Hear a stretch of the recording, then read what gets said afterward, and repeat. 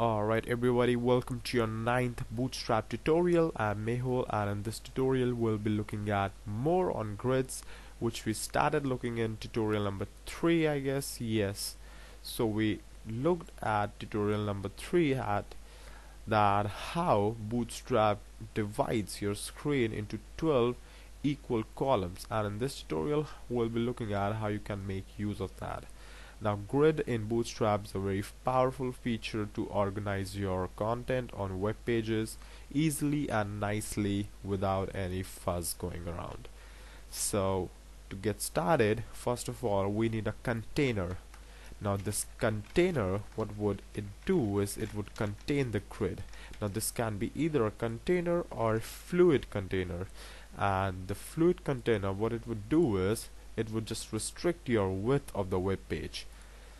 Okay so now the next thing you need is a row in your container. Now this row what it would do is just like column divides your page in 12 equal parts all these row would contain would create a kind of grid would complete the grid and then it would provide some space for every element.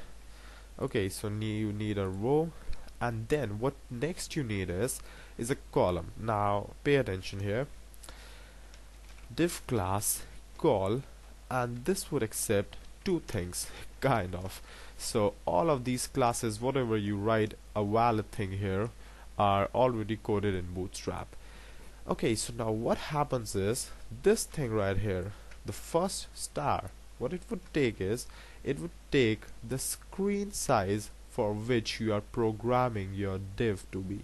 Now there are many screen sizes like that of a laptop or a tablet or a phone and for all of those different devices you would like to have different width of the div accordingly.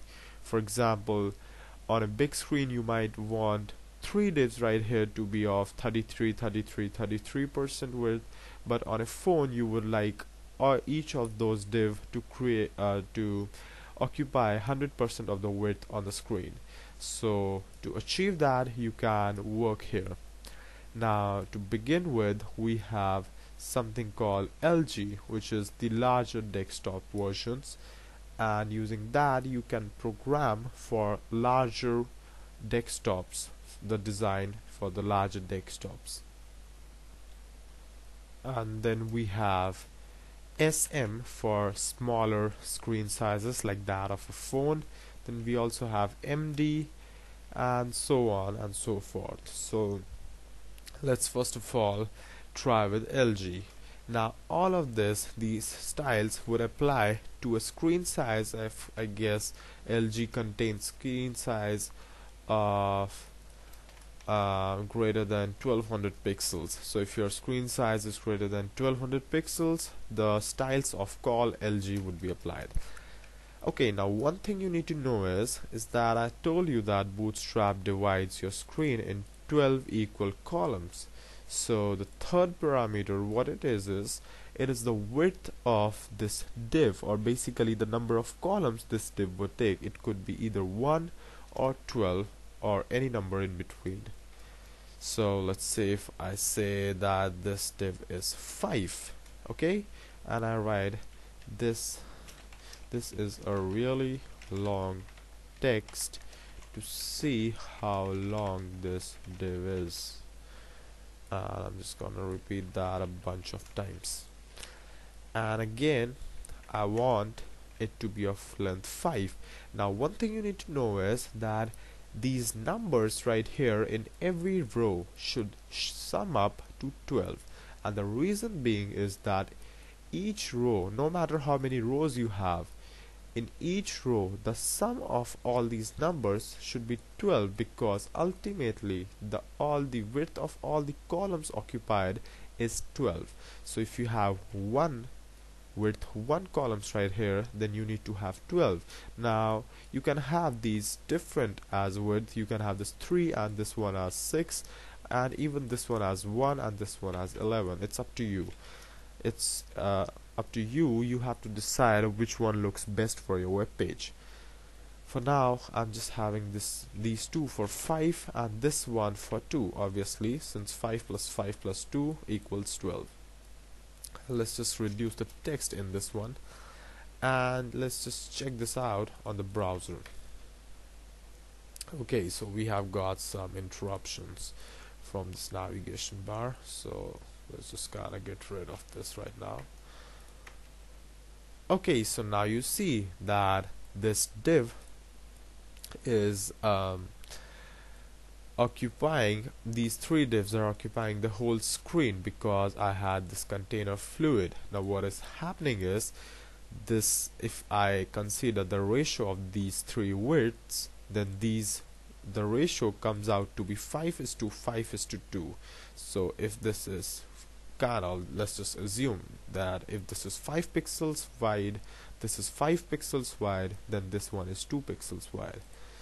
And if you see under the hood then you see that this the col LG5 contains a width of 41.6666667 percent and this is defined only for devices having a width of 1200 pixels.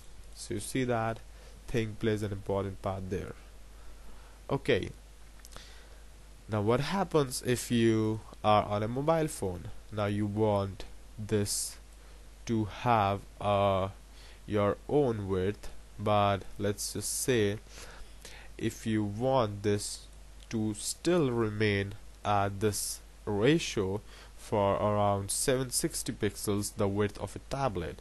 Now right now you see that this immediately falls to our separate divs because you don't have any style defined under 1200 pixels. Now for that what you have to do is you have to code for a medium version.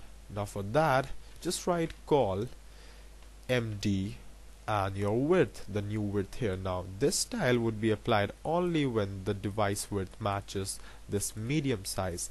This would not be applied for the larger screens. So let's say if I say that this one is reduced to 3 this one is reduced to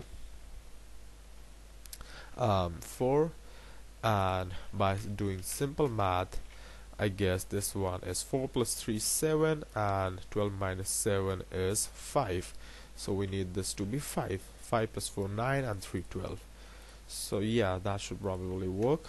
And if I reload this and resize this again so you see that when I bring it down to around 1190 pixels then the ratio changes drastically.